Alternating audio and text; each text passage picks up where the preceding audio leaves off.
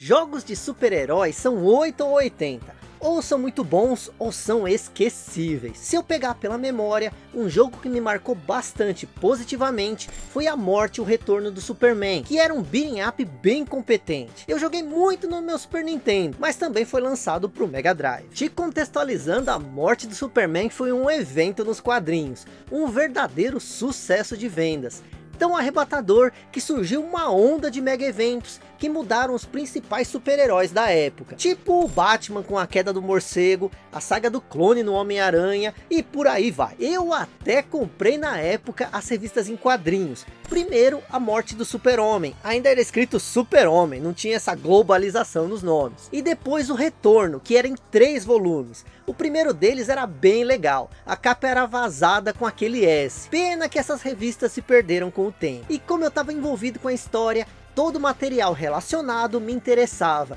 E claro que o jogo não poderia faltar. E o game adapta bem a história em quadrinhos, trazendo depois da morte do Homem de Aço, quatro, entre aspas, substitutos. Um Super Cyborg, o Erradicador, que era um personagem já do universo do Superman, que também era kryptoniano, e na história realmente achava que era o Superman. Uma versão estranha do Superboy, e o Aço, um cara grandão que veste um tipo de armadura. Teve até filme estrelado pelo Shaquille O'Neal. E no final, é claro, tinha o retorno do Superman aquela versão bizarra com mullets. Esse foi um dos primeiros jogos da Blizzard, mostrando que a empresa desde o início não estava para brincadeira, sempre fazendo bons jogos e bem legais também. Por outro lado, o Superman também teve um dos piores jogos de todos os tempos, e para mim está no top 10 fácil, que é o Superman 64 do Nintendo 64. E claro que você vai me perguntar, mas isso por que, que o Superman 64 era tão ruim assim? A resposta é que não tem apenas um motivo. São vários que foram se encaixando.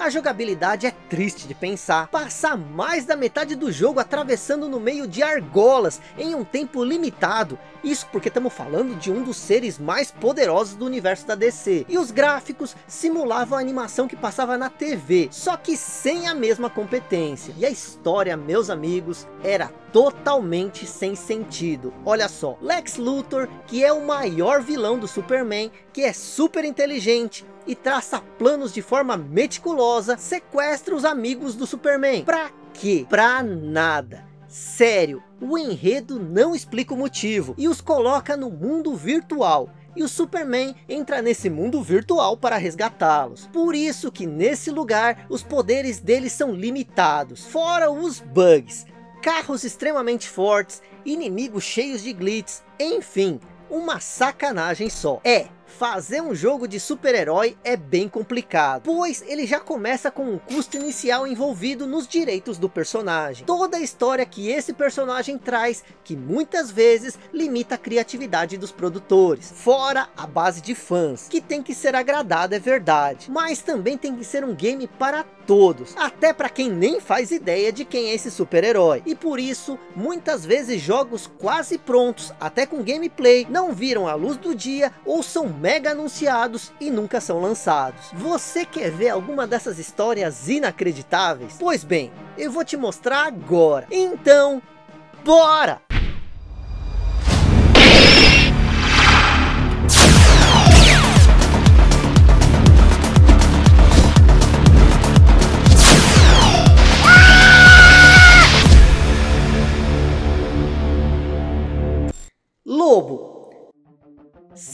Personagem que ficou popular nos anos 90 foi o Lobo. Estava na moda aquele tipo de anti-herói descolado com cara de vilão e que não liga para nada, além claro da sua moda. Fazia sucesso nos quadrinhos, nos action figures e até nos desenhos animados da Liga da Justiça e do Superman ele apareceu. A demanda por qualquer coisa do personagem estava em alta, então a Ocean Software começa a produzir um jogo para o Lobo em 1995, com o Playstation 1, o Nintendo 64 e o Saturn bombando, resolveu desenvolver para o Super Nintendo e para o Mega Drive. Tá bom, sem problemas. Afinal, a base instalada dos consoles ainda era alta e seria um jogo de luta, que seria protagonizado pelo Lobo. Mas que quem seriam os outros lutadores? Aí já começa a primeira dificuldade. Não poderia ser do primeiro escalão da DC, pois ofuscaria o personagem principal. E pior, traria mais custos à produção do jogo.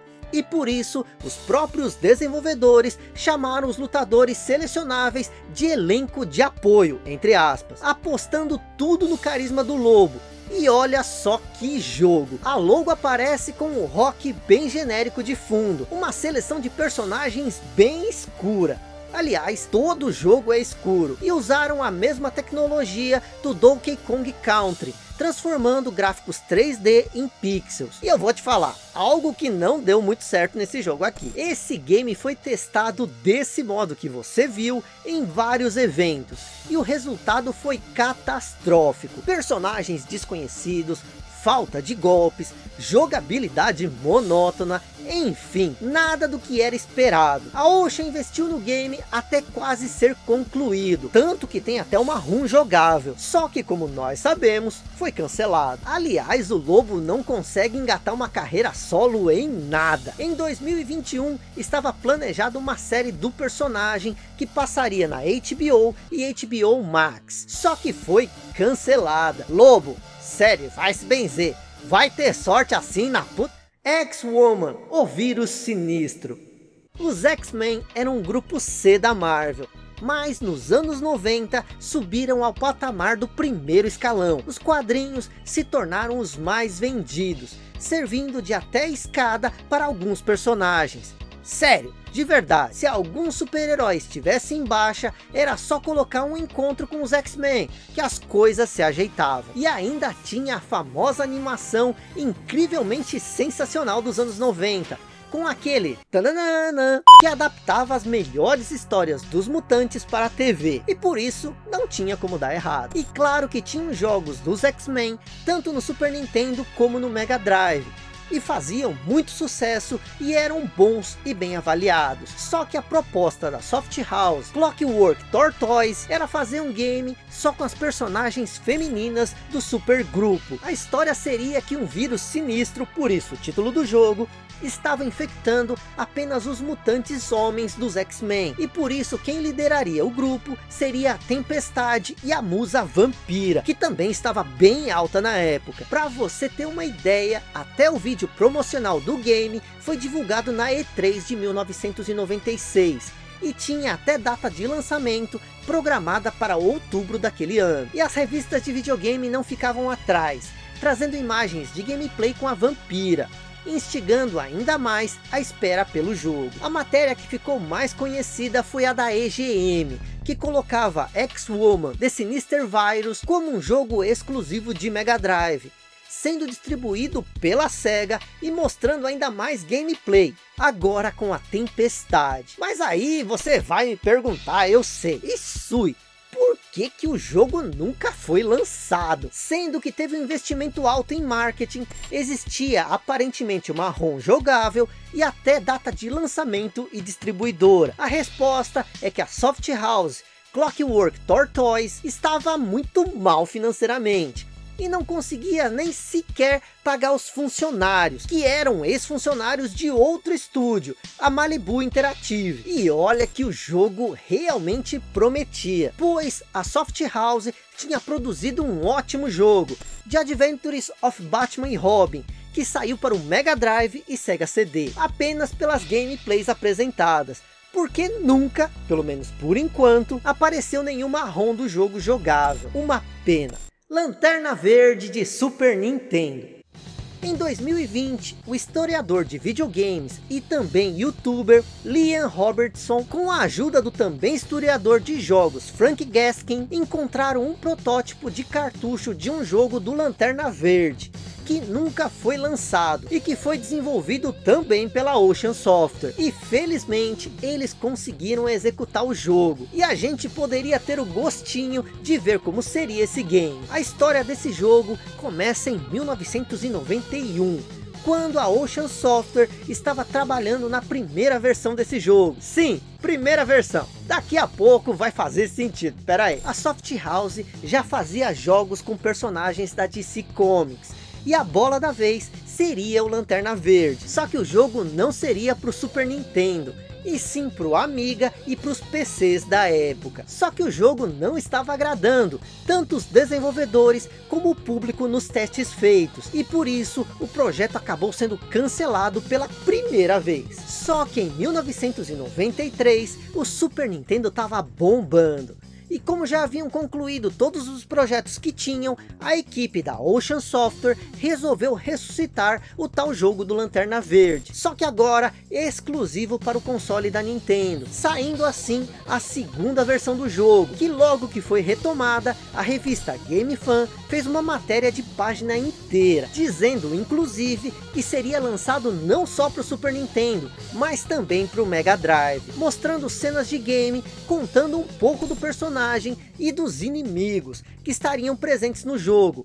Um preview completo. A partir daí foi uma festa de imagens e previews do jogo em todas as principais revistas de videogame mundiais. Mas mesmo sendo bem aguardado, o jogo sofria de modificações e atrasos. E essa versão, que foi descoberta em 2020, foi a terceira e última versão, que não foi lançada simplesmente porque acabou o prazo de licenciamento com a DC sobre o personagem em jogos. Puxa, que mancada, hein? Também acabaria a parceria com a Ocean Software, que não conseguiu a partir daí adquirir mais nenhuma licença da DC. Mas me diz aí, pelo que você viu, acha que o jogo seria legal ou seria um fracasso, como foi o filme de 2011? Demolidor, o Homem Sem Medo.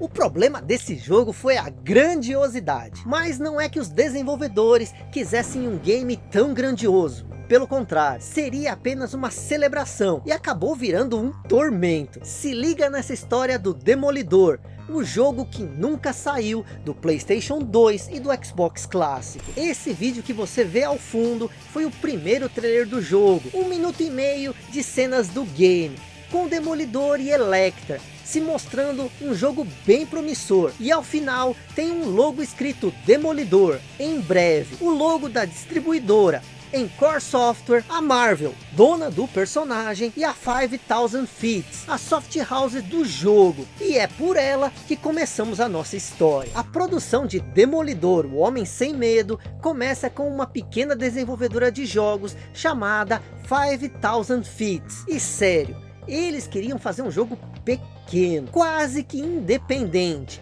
que traria apenas histórias celebrando os momentos mais importantes da história do Demolidor nos quadrinhos. Nessa época, a detentora dos direitos dos jogos do Demolidor era a Encore Software, que também tinha os direitos do Capitão América. Só que toda essa história mudaria em 2003, quando a Sony Pictures, a 20th Century Fox e a Regency Pictures estavam no processo de finalização do filme do Demolidor.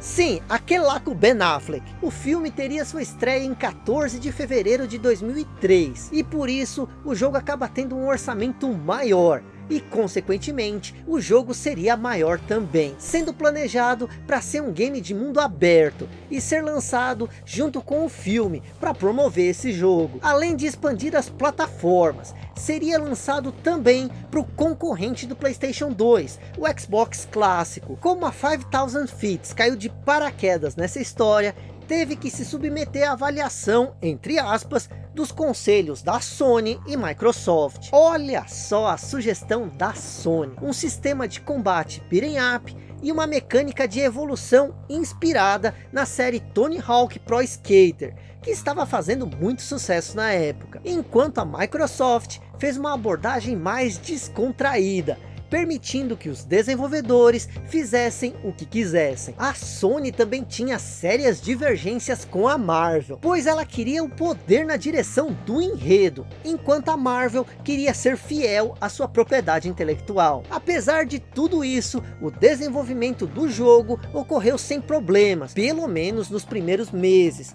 até a contratação de novos designers, que usariam o motor gráfico Renderware da Criterion Software, que era utilizado nos mais populares jogos de mundo aberto da época. Inclusive eu já mencionei isso em vários vídeos aqui no canal. No entanto, a Encore Software não quis pagar as taxas para usar essa engine. Então a equipe resolveu criar seu próprio motor gráfico no processo, que provou não funcionar muito bem com o mundo das sombras, que o Demolidor usa para localizar e sentir o medo dos seus inimigos. Além de outras mecânicas de jogabilidade que não estavam dando tão certo assim. Isso ocasionou uma mudança radical no game. Ele deixou de ser de mundo aberto, se tornando totalmente linear, com a câmera atrás do personagem. Mas as divergências não terminaram por aí. Os recomeços geraram atrasos e, consequentemente, Demolidor, o Homem Sem Medo, não foi lançado junto com o filme, como era previsto, sendo adiado para o verão de 2003. E depois sofreu mais um adiamento, com o game praticamente finalizado, lançaram até um trailer, que era lotado de gameplay, aparecendo além de batalhas, mecânicas de jogo, jogabilidade, inimigos, até o rei do crime aparecia e terminava com um em breve, no início de 2004. Como nós sabemos, esse prazo também não foi cumprido. E para finalizar, porque desgraça pouca é bobagem, vários funcionários da 5000 Fits simplesmente abandonaram o desenvolvimento do jogo bem nessa fase final, alegando que nada que fizessem agradava a Marvel, que se recusou a aprovar o jogo, o que ocasionou seu cancelamento. A 5000 Fits encerrou suas atividades em 2012 e vários ex-funcionários da empresa